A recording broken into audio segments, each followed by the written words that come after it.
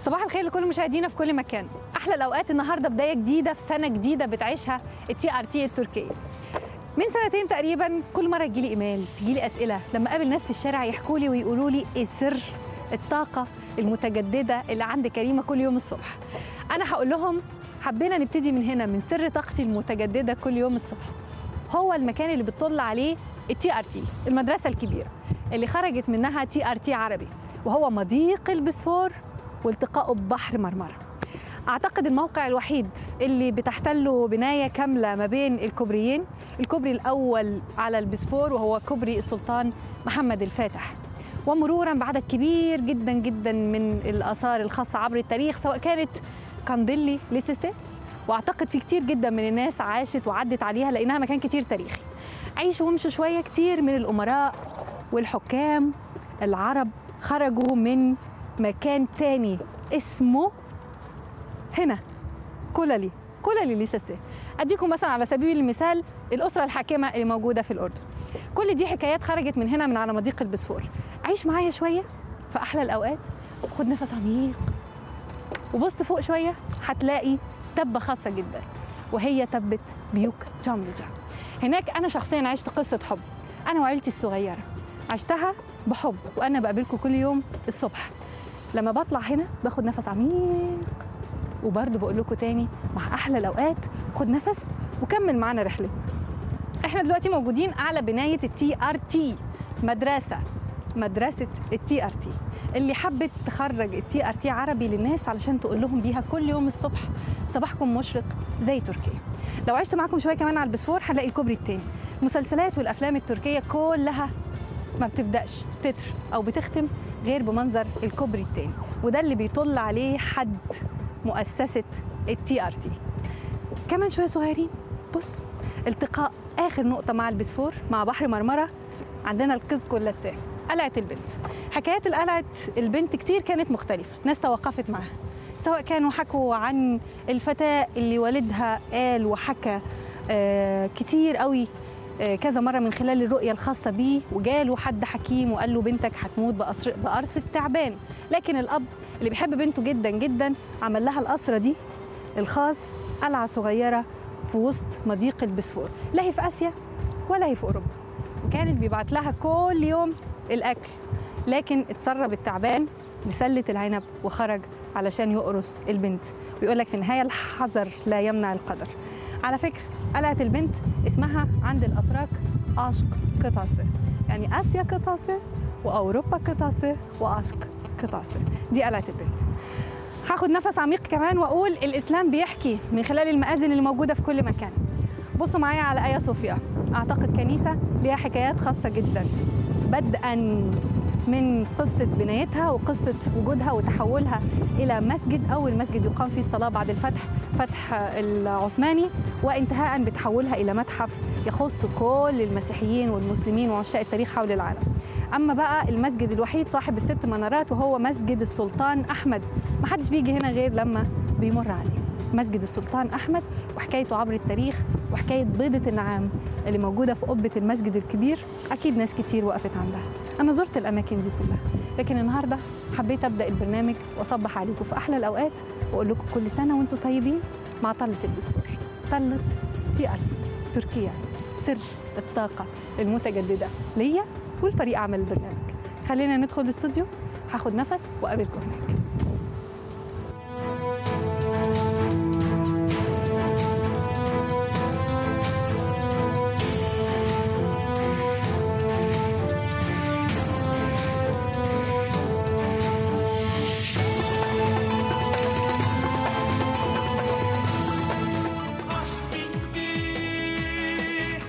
Ehlen ve sehlen. Geriye ne kaldı şimdi? Ya Habibi fış fış. Ehlen ve sehlen, ehlen ve sehlen. Ah, ayva. Saatten sonra gönül dakika durmaz. Ehlen ve sehlen. Sigaramın boynu bükük dumanı Ehlen ve sehlen.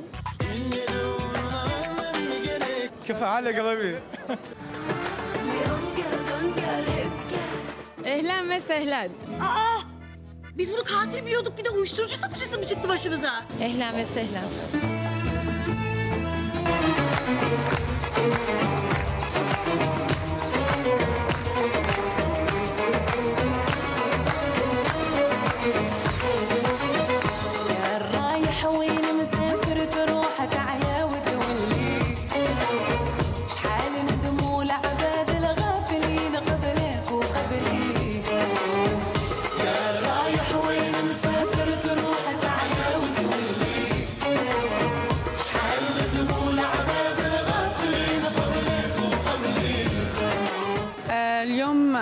بتركيا آه، لحتى أعمل آه، أول شيء ال promotion تبع ألبوم نوماد اللي موجودة فيه أغنيتي ضرب جنون واللي حققت نجاح آه، فعلا آه، جميل كتير ورائع بتركيا.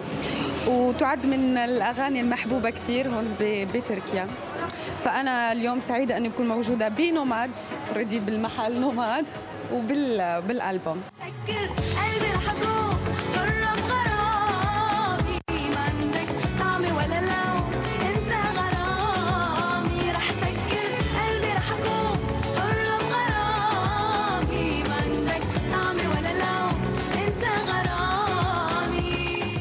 الفيلينج كان صراحة آه، جديد وغريب نيو لأنه أول مرة أنا it's the first time بتركيا. آه، العالم بتحب يعني بتركيا أمين الثقافة ال culture في مزيج بين الموسيقى التركية والموسيقى العربية.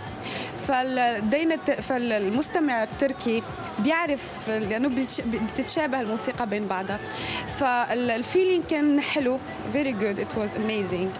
وال- وأنا سعيدة يعني happy and excited آه، لأنه آه، عم بتعرف على جمهور جديد وجمهور جديد عم يتعرف علي Hani benim Recep'im, Recep'im Sana lira vereceğim Gelmezsen karakola gideceğim Together yalla Hani benim Recep'im, Recep'im Sana lira vereceğim Gelmezsen karakola gideceğim İstanbul'un kızları Recep diye ağlaşır Hani benim Recep'im, Recep'im sarı lira vereceğim. Almazsan karakola gideceğim. Hani benim Recep'im, Recep'im sarı lira vereceğim. Almazsan karakola gideceğim. Arada arada dararar Arada sarada darara Ajda Bekkan Arada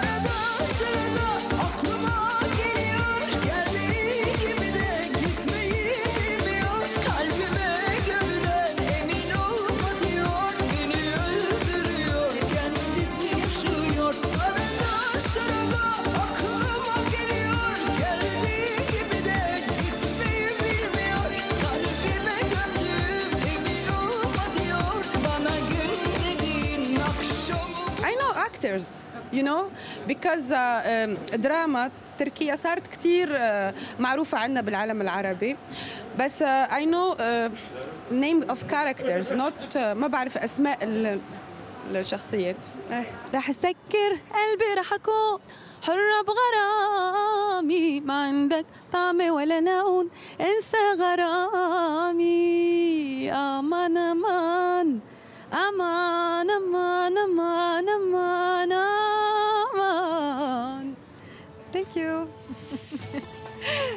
إحنا كمان بنشكرك كتير. أمل شوشة واحدة من أجمل الأصوات الجزائرية. يمكن غنت معانا بالعربي وبالتركي وكمان أغاني عالمية. أحلى الأوقات. يمكن الجسر الخاص بين تركيا والعالم العربي. كتير من النجوم والفنانين الأتراك اتكلموا معانا عربي. أهلا وسهلا. لكن هنا في الاستوديو في أول حلقاتنا من الاستوديو الجديد وإحنا بنقول يا هادي بعد طلة البسفور معانا ملكة جمال. إيه رأيكم؟ نعيش معاها حكاياتها وأنا برحب بيها وبقول لها صباح الخير. ضيفتنا الجميلة السيدة سنام جبان هاني مفندي hoş geldiniz nasılsınız Çok mersi. الحمد لله كتير كويسة. öğrendiniz mi تعلمتي عربي؟ Ee, şükran. برافو. أهلا وسهلا. النهارده كلمة السر في برنامجنا مع بداية السنة الثانية. أهلا Ahlen وسهلا. ve sahlen. اتكلموا عربي يا جماعة. خلاص أنا اعتقد تركيا هتتكلم عربي. بعد كده خلينا نقرب من بعض أكتر. سنام هانم ملكة جمال بدرجة امتياز. ما شاء الله. أنا عايزة أعرف اتجاهك من آه، المرحلة المبكرة دي لعالم الجمال وبعدين للموضة وتصميم المجوهرات والإكسسوارات. أكيد رحلة يعني. احكي لي حكايتك. Ee, çok keyifli, uzun bir yolculuk. آه، 1995 حكايتي طويلة آه، لقد. انتخبوني كملكة جمال لتركيا في عام 1995 آه، لذلك فأنا الآن آه، لا آه، أقوم بعرض الأزياء ولكنني أقدم في إحدى القنوات برنامجا عن الصحة لذلك أنا سعيدة بعملي هذا و آه، آه، لقد قمت بتصميم بعض ال- آه، الإكسسوارات والأحجار الكريمة. لذلك آه، آه، أحب آه، طبعا هذا العمل وأنا آه، أتمتع بالعمل بهذا ولكنني مستمرة في العمل التلفزيوني. ما هي شخصية تجارية لكن شخصية بتحب الجمال والإبداع. يعني فنانة. نقدر نقول. حلو كتير الطرف الفني. طب أنا هاخد برضو الرحلة دي لكن آه أنت محافظة بشكل كامل 100% على قوامك وعلى جمالك ونضارة بشرتك. أعرف بتحافظي عليهم إزاي؟ لأن كل الناس اللي بتتابعنا دلوقتي هتسأل نفس السؤال. وبعدين نرجع لحكايتنا مع ملكة الجمال Ee, herhalde en önemlisi آه، في الحقيقة أن أهم شيء في هذا الموضوع هو الجينات والوراثة. آه، لذلك أنا منذ طفولتي أنا من أهل إزمير ومن بحر إيجا وهؤلاء الناس يحبون الطعام طعام تلك المنطقة منطقة بحر إيجا. لذلك فهم دائما يعتمدون في طعامهم على زيت الزيتون وكذلك على الرياضة. لذلك لقد بدأت بالرياضة منذ صغري وأنا الآن مستمرة في الرياضة. كذلك وبالإضافة طبعا إلى آه، الجينات وهذا هو ما. ساعدني في هذا الأمر. ممكن نحط العامل الوراثي على جنب في بعض الأحيان لكن اعملوا رياضة وتغذوا كويس. الخضروات كتير بتفيد وبتحافظ على الصحة والقوام المثالي. حلو. طب أرجع بقى لملكة الجمال. أولا لقب ملكة الجمال لقب بيخليكي تحت الأضواء بشكل كبير قوي قرار كان قرار مين؟ إنك تشاركي في مسابقة ملكة الجمال. هذا آه، القرار. أنا أقول أنني آه، لم آه، أكن أريد أن أكون ملكة جمال ولكنني كنت أريد أن تكون لي سيارة أن أشتري سيارة. لذلك فقد قمت بالمشاركة بهذه المسابقة. ثم دخلت آه، المسابقة وحصلت على آه، السيارة وأصبحت ملكة جمال تركيا. إنك تقتني سيارة وسيارة خاصة جدا زي العربيات الحلوة اللي بيدوها جايزة ملكة جمال كانت الدافع الرئيسي عشان تبقى ملكة جمال تركيا. طب حياتك اتغيرت بعد ما أخدتي العربية وأخدتي اللقب؟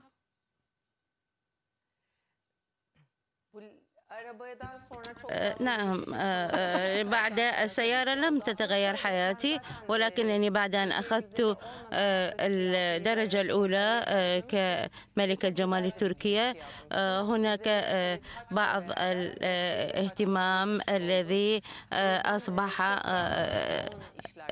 من قبل الناس ولذلك آه، عرضت علي الكثير من الأعمال آه، وخاصة في عرض الأزياء وفي آه، وقد كان آه، كما تعلمون أن صناعة النسيج في تركيا متطورة جدا ولهذا السبب هناك الكثير من عرض الأزياء طبعا ولكن بعد الأزمة آه، قل النسيج قلت صناعة النسيج وقل عرض الأزياء. لذلك لذلك أستاذة نجاح اتفضلي صباح الخير. صباح الورد. بعد فترة أخرى آه، قمت بعمل عرض الأزياء. شكرا. كل سنة وانت طيبة. طيب. إذا دخلتي في مجال التصميم و... ويمكن اتجهتي لتصميم أشياء مختلفة. إيه، الأزياء والإكسسوارات؟ ولا أخدتي طرف واحد هو الإكسسوار وعشتي فيه ك أم، إكسسوار ومجوهرات öncesinde tekstil yapmaya başlamıştım. Tekstil yaptım bir süre. قمت. بعمل آه، تصميم الأزياء وفي النسيج في صناعة النسيج وكانت لدي قطة جميلة جدا آه، أحبها. آه، ولذلك فأصبح الاسم هو اسم قطتي. وحضرت مجموعات وصممت مجموعات جميلة جدا من التصاميم. وقد آه، صممت أزياء كثيرة وكان هناك آه، مساعد لي آه، وساعدني في آه، عملي هذا. وفي هذه الفترة كنت حامل و لقد تعبت كثيرا ولكنني لم أترك عملي الذي أحبه وكنت أتابعه بكل شغف آه، آه، وكنت أريد أن أكون مشرفة على كل شيء. آه، إن صناعة النسيج هي صناعة صعبة جدا ولم أكن أعلم بهذا الأمر. طبعا هناك آه، بعد عمل التصاميم وهذه بدأنا بفتح آه، محل ومتجر لبيع هذه التصاميم آه، لذلك. فعندما ولكنني رغم كل التعب فإنني عندما كان كنت أرى نتيجة عملي كنت أسعد بذلك جدا. لذلك بعد فترة تركت هذا العمل ثم آه، اعتنيت بطفلي آه، لمدة سنتين. ولكنني لم أستطع أن آه، أستمر بدون عمل آه، لأن هذا لا يليق بي. لذلك فقررت العودة إلى العمل آه، مرة أخرى ورجعت وهكذا. آه، بدأت أيضا بعمل التصاميم مرة أخرى وتوسع عملي واشتهرت هذه الماركة التي أعمل بها. فأنا سعيدة جدا وكما قلت في بداية البرنامج أنني آه، أحب آه، هذا آه، هذه المهنة ولكنني أحب أن أستمر كمقدمة برامج أكثر. أحلى حاجة إنها شخص بيبدأ دايما من الصفر في موضوع جديد. يعني هي بعد ما بقت ملكة جمال العالم لم تستخدم ده بشكل كتير وما اشتغلتش موديل بشكل كتير بدأت تصميم الملابس نجحت فيها جدا. لكن بعد ما وصلت اللي هي عايزاه وعملت ماركة ونجحت وقفت ده اعتنت بطفلها سنتين رجعت لمجال تصميم الاكسسوارات والمجوهرات نجحت فيه جدا لكن العمل التجاري برضو ما حبهاش إنها تكمل في ده وقفته وحاليا هي متجهة للعمل التلفزيوني مذيعة يعني بتنافسني بس بالتركي.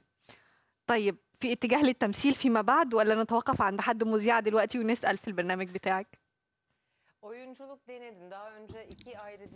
بالنسبة للتمثيل هو عمل هو عمل صعب. جدا لذلك آه، فأنا أنا أعتقد أنه آه، يعني آه، ينتهي ليست هناك عطلة وتنتهي الحياة العائلية ويعني أو تكون العائلة في الدرجة الثانية بعد العمل لذلك فشروط آه، العمل في التمثيل هي صعبة جدا ولكنني آه، لا أريد هذا الشيء لذلك فأنا لا أحب كثيرا التمثيل آه، ولكن يمكن العمل في آه، مشروع واحد فقط ولا لا أكثر. عشان تقدروا بقى حكايات المشاهير يعني هما بيتشهروا صحيح لكن بيتعبوا كتير قوي. علشان يطلعوا مسلسل واحد حلقة واحدة من مسلسل من اللي بيوصل لكم آه، كأنه بالظبط بياخد عمل ووقت ومجهود كأنه عمل فيلم كامل. علشان كده سينام هانم ما فضلتش الموضوع ده لكن ممكن تعمل سيت كوم قريبا. أنا منتظرها شخصية كوميدية. طب أنت قلتي لي أنا ست دقيقة جدا. بمعنى؟ Çok titiz bir kadın dediniz yani. Çok titiz, e, çok düzenliyim. نعم أنا منظمة جدا وأحب كل شيء يكون. آه، في مكانه إذا كان. هذا آه، هو المكان المناسب له فيجب أن يبقى في هذا المكان. آه، أنا أحب التنظيم في كل شيء والترتيب في كل شيء آه، e, آه،. وكنت كنت أكثر من هذا ولكنني الآن أقل من ذلك ولكن يجب أن يكون آه، بيتي آه، نظيف وسيارتي نظيفة أيضا وأنا أريد أن آه، أضع الشيء آه، في مكان ما وأن أجده في نفس المكان. وكذلك ابنتي أيضا تعمل نفس الشكل آه، آه، الآن تلعب هي بألعابها ثم تحضر كل آه، تقوم بترتيب الأشياء وترجع إلى مكانها السابق. آه، لذلك هذا آه، شيء آه، جدا أن يكون الإنسان مرتب جدا آه، ولكنني أح- أحاول أن خصوصا أقلل من إذا هذا كان الطرف الثاني مش بنفس الدرجة من الدقة في الحياة يعني أوقات بيبقى طرف دقيق جدا في حياته الأشياء ما بيتغيرش مكانها والطرف الثاني أي حاجة بتتحط في أي مكان يعني حاولوا تكونوا متوسطين. شيء جميل يعني. قالت لما يبقى زيادة بيبقى صعب. طيب إحنا حكينا آه، عن كل انت بتكتشفي نفسك. أنا إحساسي إنك بتكتشفي نفسك. بتشوفي جوه سنام إيه وبتطلعيه. وزي ما قلتي في روح الفنان جواكي. علشان كده ما بين مذيع وممثل كل حاجة بتجربيها مصمم أزياء مصمم آه، مجوهرات. جربتي تغني؟ بتحبي الغنى؟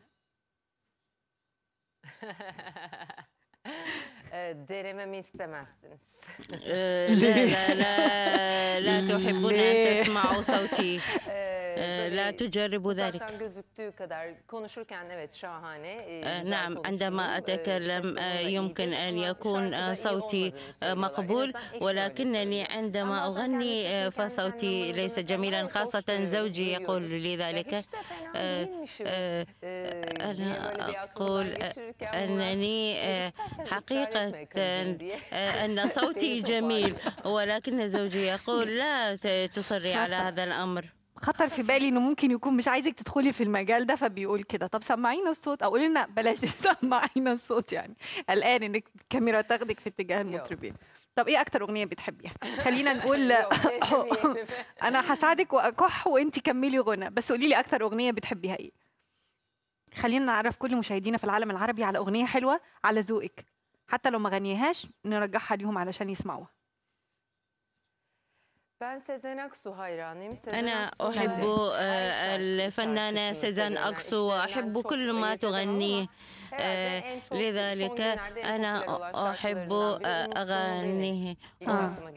آه،. هل نسيتني أغنية كلماتها بتقول أكسو إيه Unuttun mu beni her şeyimi? هل. نسيت آه، آه، هل نسيتني? هل نسيت كل شيء عني. هل مسحت. كل كل ذكرى عني والله اللي ينسى هو حر بقى يعني اوعى تنسى شش. خصوصا لو كان في ذكريات حلوة خد الجنب الحلو طيب سنام هانم عالم التلفزيون انت موجودة فيه دلوقتي وموجودة فيه ب- ب- بحب انت ح- عجبتك حياة المذيع الفكرة بتاعت انك تصلي على الناس وتحكي معاهم إيه نوعية البرامج اللي بتقدميها؟ قلتي الخبر بتحكي فيه لكن إيه تاني اللي تحبي تقدميه؟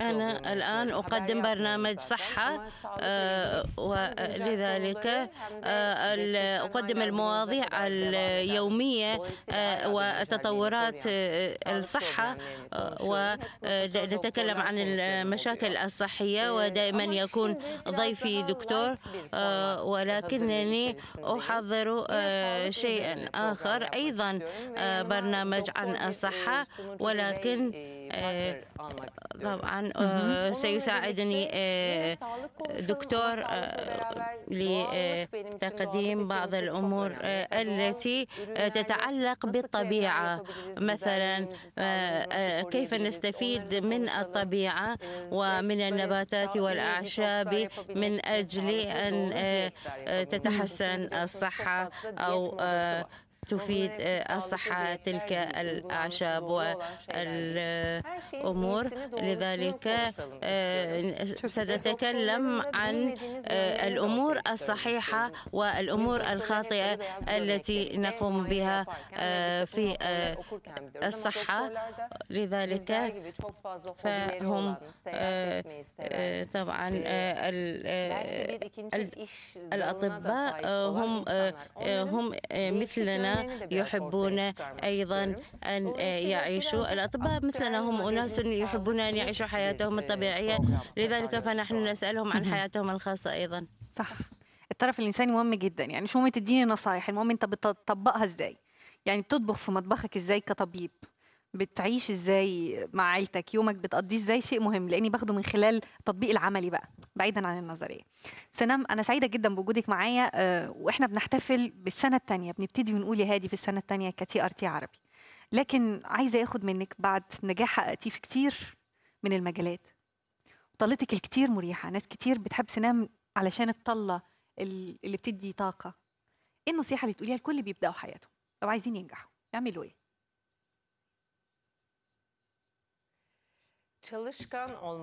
يجب أن يعملوا بجد وبمثابرة. لذلك يجب أن. يقوموا بعمل كل عملهم بأنفسهم ولا يعتمدوا على الآخرين وبالنسبة للمقدم البرامج يجب أن يكون حاضرا ويقرأ الموضوع جيدا قبل أن يبدأ البرنامج نحن طبعا آه، في بالنسبة لبرنامجي أنا أستضيف دكتور ويجب أن أكون على علم بالموضوع الذي أقدمه في هذا البرنامج لكي عندما يكون أمامي هذا الدكتور أسأله الأسئلة الصحيحة التي آه، أعرف عنها كل شيء ويجب أن لا أنظر فقط إلى الأسئلة المكتوبة آه، بلا فهم. لذلك أريد أن آه، أكون آه، أنا رأيت أن آه،. آه، تعرفت بك. آه، Gözleriniz أنت جميلة جدا وعيونك maşallah Allah جدا. آه، أنت سيدة جميلة وأنا سعيدة لمعرفتي بك. على فكرة يعني زي ما بيقولوا بيطلع من القلب دايما بيدخل القلب. إحساسي بمجرد إن دخلت سنام الاستوديو حسيت إن في طاقة خاصة جدا دخلت الاستوديو. آه، جمال داخلي وخارجي حبيت أكتشفها معاكم. اكتشفت إنها حاجات كتير في بعض لإنها حبت تكتشف نفسها من جوه الأول. وحست في الآخر إن شخصيتها هي شخصية فنان بيحب الإبداع علشان كده بتنجح بجد. آه سنام جوفان ليست ملكة آه جمال فقط مش جمال خارجي لكن الجمال اللي جوه كتير مهم. اكتشف نفسك وذاكر كويس ايا كان شغلك هتنجح. دي نصيحة سنام الذهبية معنا النهارده. أنا بشكرك جدا لوجودك معايا ودايما بالتوفيق. خلينا نبقى أصحاب. Şükran. قد إيه شكرا؟ شكرا. إحنا خلصنا الجزء الثاني في حلقتنا النهارده والمتعلق بأول ضيفة وطله حلوة بتطل علينا وإحنا بنبتدي سنة جديدة في البرنامج.